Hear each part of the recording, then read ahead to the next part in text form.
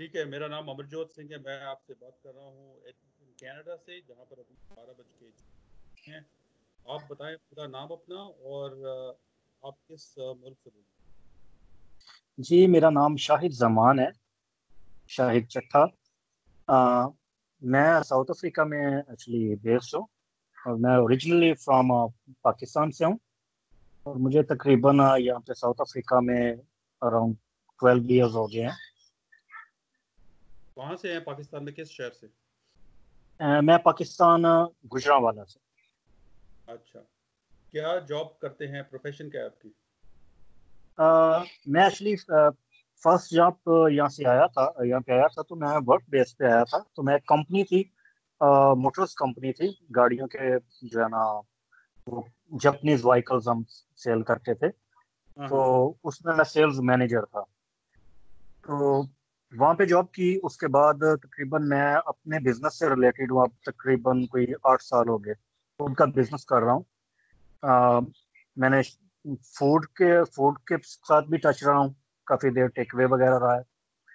तो उसके बाद अभी मैं आ, चला रहा हूँ अपनी शॉप उसमें होम वेयर थिंग्स हैं सारी like blanket cell phone cell phone repair electronics all kind of home ware things Uh, what, what is your uh, uh, education uh, degree? Education, uh, मेरी बेसिक ग्रेड टेन अच्छा अच्छा ठीक है।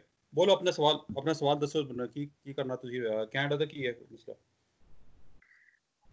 Actually मुझे uh, मैंने अपना और मेरी वाइफ भी इधर ही है। मैं यहाँ का परमानेंट रेजिडेंस होल्डर हूँ।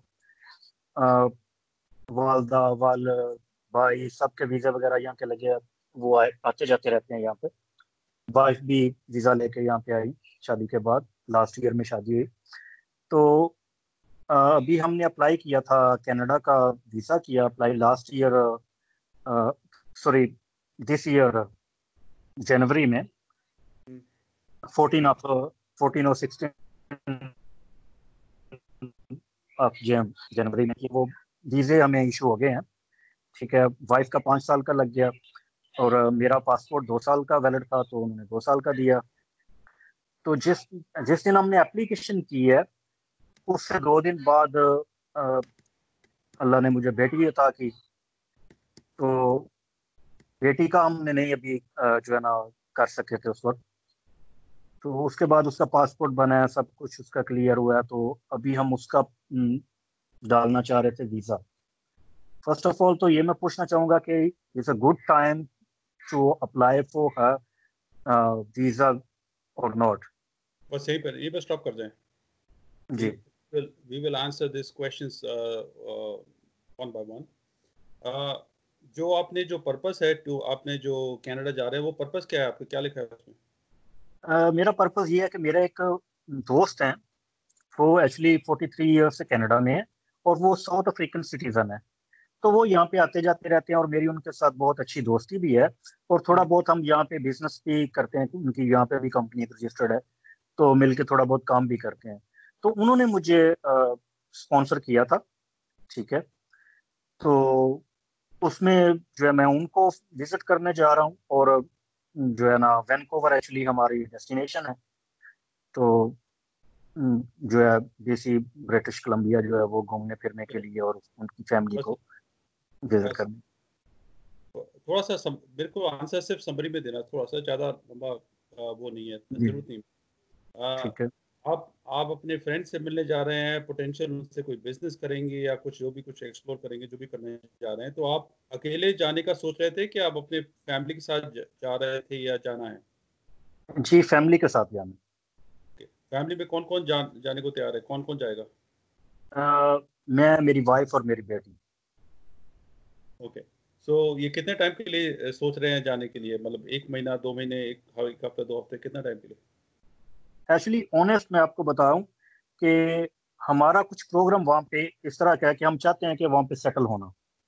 वो वो तो मेरे को वो तो मेरे को पता है कि वो तो आई अंडरस्टैंड कि वो है लेकिन अभी अभी फ़िलहाल जो आपका जो टेम्पररी जो आपने जो प्रोग्राम उनको दिखाया था जो जी जी। वो तकरीबन 15 डेज़ का। हाँ बस, बस मेरे को इतना पूछना बस पंद्रह दिन का था। तो ये कौन सी डेट को आपने कहा था कि कब जाने वाले थे आप? एक्चुअली हम जाने वाले थे जनवरी आई थिंक मार्च की टेंथ ऑफ़ मार्च था हमारा। टेंथ ऑफ़ मार्च को था। अच्छा अभी ये कोरोना वायरस करके जो कुछ हो रहा है तो अभी ये मुलतवी हो गया है ये आप कब जाएँगे? छह महीने बाद जाएँगे अगले साल जाएँगे कब सोच रहे हैं जाने के लिए? जी ये when soon is international travel open होता है उस वक्त हम ट्रैवल करेंगे। अच्छा तो मेरी सलाह है कि अभी आप अपने बच्चे का ना करें। ठीक है। बच्चे को अभी वहीं छोड़ें अभी आप और अभी आप आ, मैं तो आपसे ये ये भी ये भी आपको कहना था कि आप अपनी अपनी वाइफ को लेके ना जाएँ अभी आप पहले अकेले जाएँ। और अकेले जाके वहाँ पर 10-15 दिन एक्सप्लोर करें वैंकूवर में देखें क्या हालात हैं क्या सिस्टम है क्या बिज़नेस है क्या जॉब है वगैरह वगैरह बहुत सारी बातें हैं देखने वाली। तो पहले वो पहले उसका जायजा लें उसके बाद डिसाइड करें कि किसको आना है किसको नहीं आना कब आना कैसे आना किस स्टेज में आना that is my advice number one उसका मैंने आपको पहले क्वेश्चन का जवाब दे दिया कि बच्चे का भी अपना करें। दूसरा सवाल क्या है?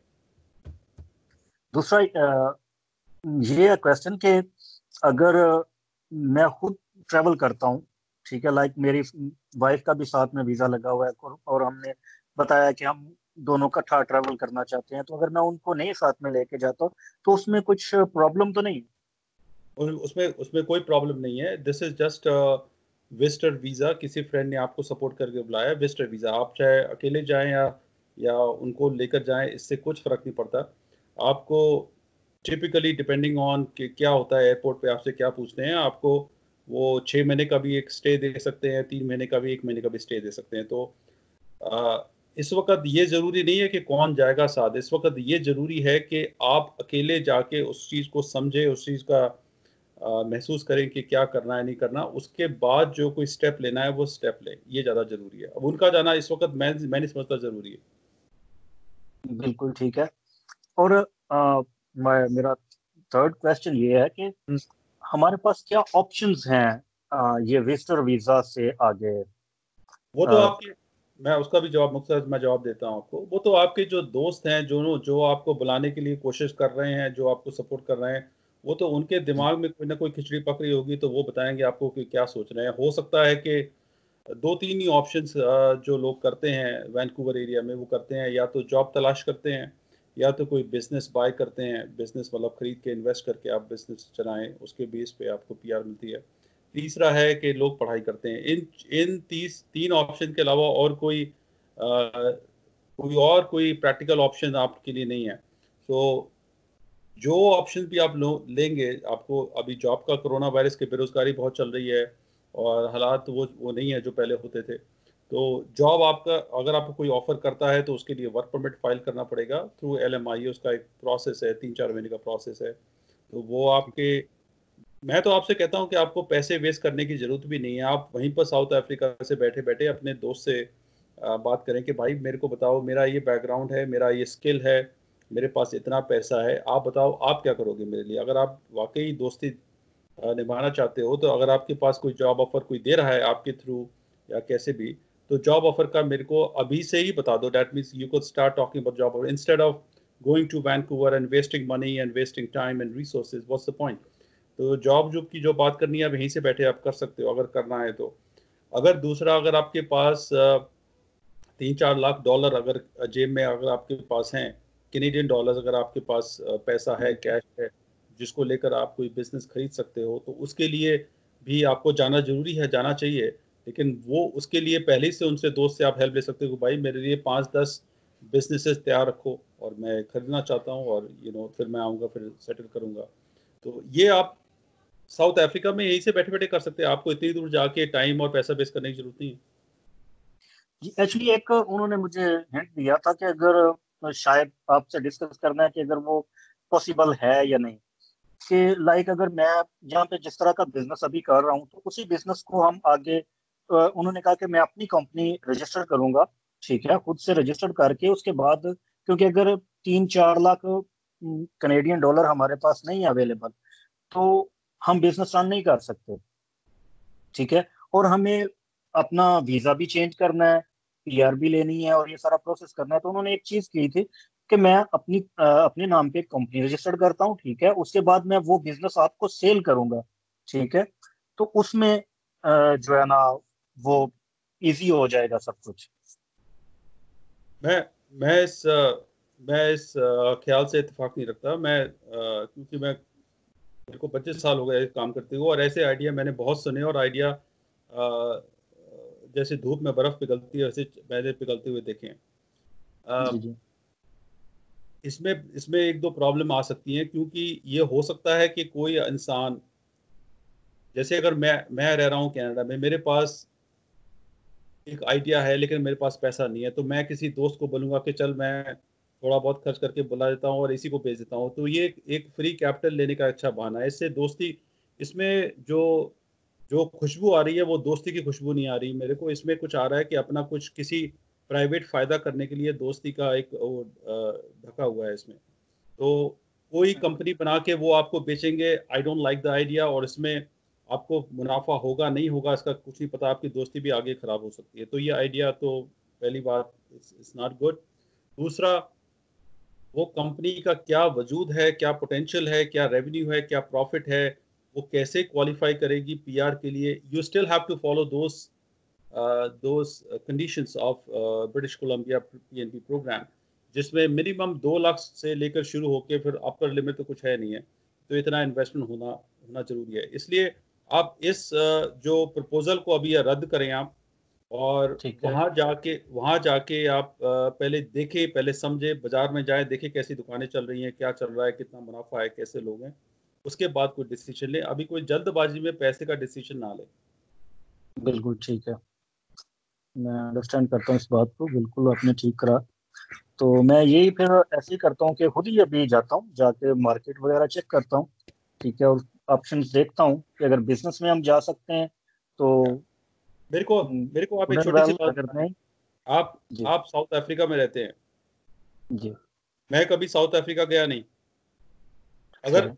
अगर आप मेरे को बोले आ, मेरे को बोले कि आप कनाडा से फ्लाई करके साउथ अफ्रीका में आओ और ये ये पहले ये आपके लिए बिज़नेस सेट है ये खरीद लेना वो खरीदना तो मैं कैसे डिसीज़न ले लूँगा? मेरे को आके साउथ अफ्रीका पहले वहाँ का बाज़ार देखना पड़ेगा वहाँ का टैक्स देखना पड़ेगा। वहाँ की लेबर पॉलिसी देखनी पड़ेगी वहाँ पर घर कहाँ लेना है वो देखना पड़ेगा क्या लाइफ है उठना बैठना कैसा है खर्चा पानी कैसा है सब देखना पड़ेगा। तभी तो कोई डिसीज़न लेंगे। How can I make a decision from a distance अगर कोई मेरे से कह रहा है कि जी मैंने कंपनी बना दूँगा और आप ये दे लेना खरीद लेना मेरे से तो I think this is a very very hasty decision it's not a practical decision for business people like you तो इस करके नहीं एक्चुअली वो कोई वो कोई एजेंट नहीं है।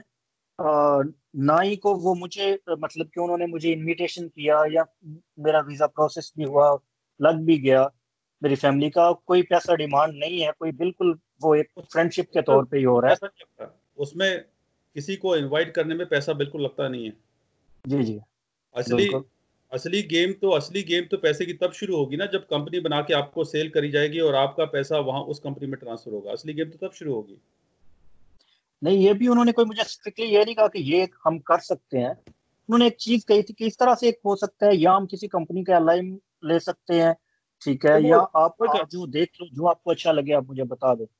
वो वो एक अलग बात है। अभी अभी हाल हाल की घड़ी आप उनसे सिर्फ़ इतना कहें कि भाई साहब आप मेरे लिए चार पाँच नौकरी जहाँ लोग देते हैं जो कंपनी है या इमिग्रेशन कंसल्टेंट है उनसे बात करके आप उनसे बताएँ कि क्या उनकी डीलिंग क्या है? ठीक हो गया।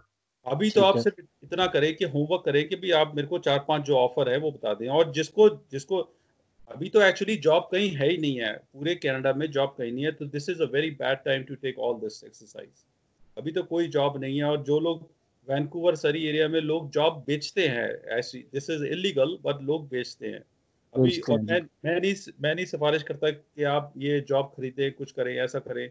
क्योंकि इट इज़ इलीगल लेकिन अगर कोई, अगर उनकी कोई वाकफियत है, कोई दोस्ती है, किसी से जॉब अगर मिलती है, अगर which I don't know which is one percent remote possibility अगर है तो उसके लिए अभी से उनको कुछ ना कुछ होमवर्क करके रखना चाहिए। By the time you go after few months so ये आप उनसे कह सकते हैं, अभी कर सकते हैं। और बाकी आपके पास अगर, आपके पास अगर पैसा है, अगर आपको बिज़नेस ले ले सकते हैं तो अपनी रिसर्च गूगल पे बैठ के बीसी में कौन कौन से बिज़नेस फॉर सेल हैं कौन कौन से बिज़नेस कंसल्टेंट हैं उनसे रबता आप अभी आप शुरू कर सकते हैं। जी ठीक है।